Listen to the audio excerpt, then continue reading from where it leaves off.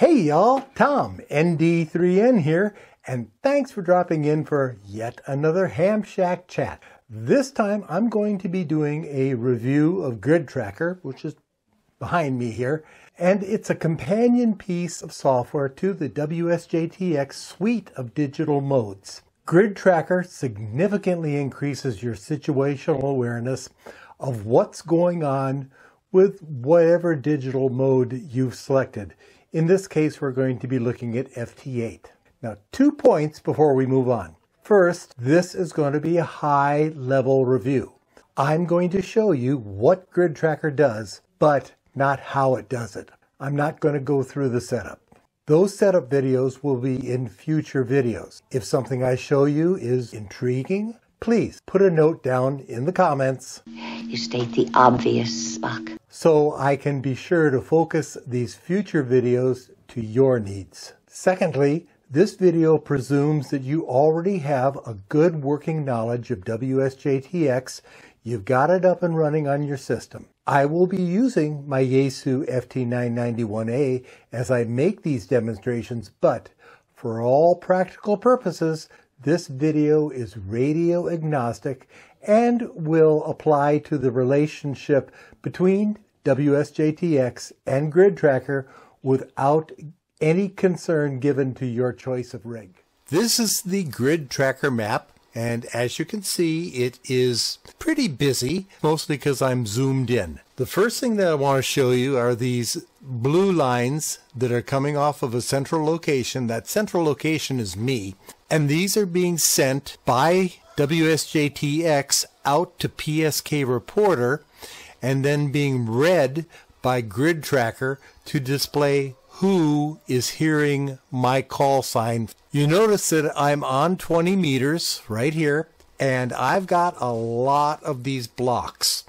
These blocks are four digit Maidenhead locators. The color coding for everything up here is completely selectable up in the settings, but that's beyond the scope of this video. Just be aware that you can set it up the way you want. Also, there are about 20 or 30 separate styles of maps that you can use for the background. This is the one that works for me. You can go find the one that works for you the best. Uh, some of the color coding, uh, these black lines here are QSOs in progress by somebody else. In the blocks, you'll see these light blue ones. These are stations that I have confirmed as uh, I've QSL'd those. The green means somebody is calling CQ. You can zoom your map in and out, take it all the way out, and you can see I got a lot of stuff happening around in Europe that I've confirmed. Now we've seen that you can customize the map with colors and line styles, as well as having multiple maps to choose from. That not only makes the display your own, but it increases your situational awareness while operating. If you're enjoying this video, please take a moment to pop that thumbs up icon and give me a like. Do you like me? So you can see I've popped up to the 10 meter band and wanted to show you what's happening down here in the call roster. Call roster is using your log to identify a few things down here. Also, I have it set to CQ only, so I'll set that to CQ only as well. You can see that I have HA1RB calling CQ from a grid that I haven't worked. Now this DM13 I've worked. He's also a new DXCC country on 10 meters.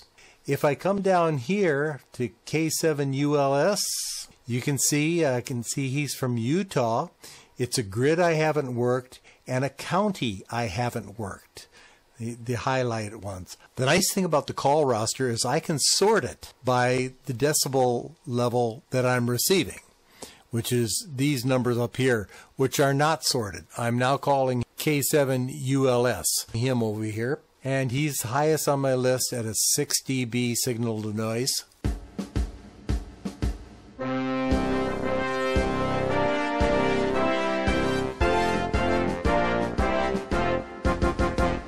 And I'm going to log it.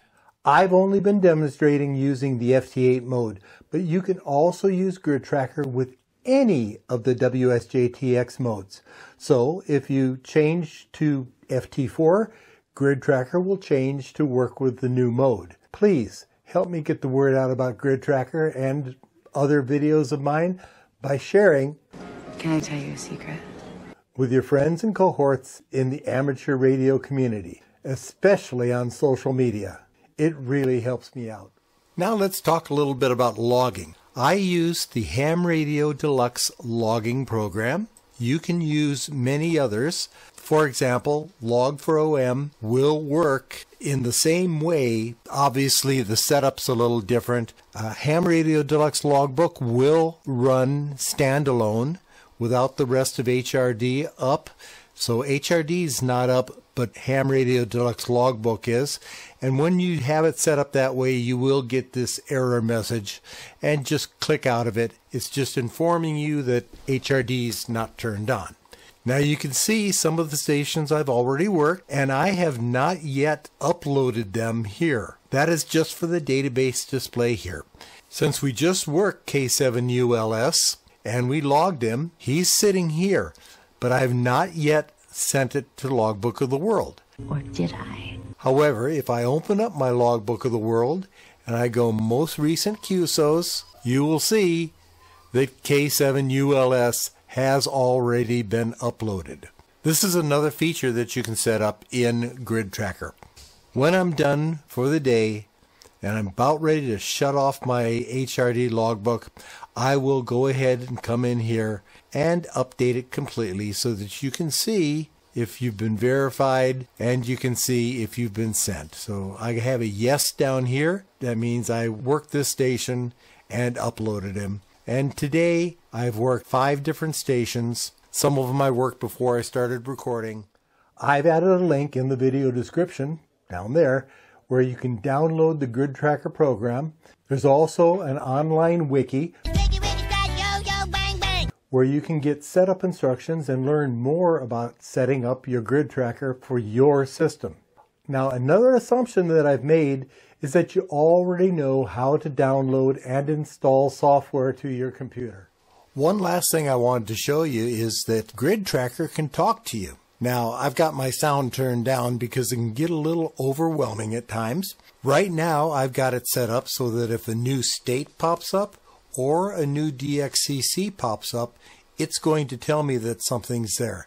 So that way, I can be working on something in the background, just have this running, then just come over here and see what popped up and work them if I want to. Turn my sound back up, wait for this cycle to finish, and I have a wanted DXCC.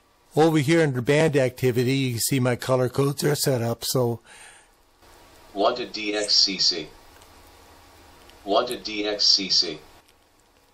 and you can hear how it can be a little hassle. So I generally do not use this during my normal operations. But it was fun while it lasted. Remember that the purpose of this video was to show you what Grid Tracker could do, not how to make it do those things. There will be other videos following that will provide you with the setup instructions for many of the features that I've shown here. Now I could have included the setup instructions for each and every feature that I showed you in one really long video, but I find that digesting small bits of information is easier than trying to swallow everything all at once. As I post those follow-up videos, I will be adding links and information to the video description here, so drop in occasionally to see what's new in the Grid Tracker world. 73 until the next Hey Y'all. As always, I am at your service. Thanks for taking time out to watch this video, and I hope that you enjoyed it as much as I enjoyed putting it all together for you. I'm Tom, ND3N, and I am out. A sequel? Yeah,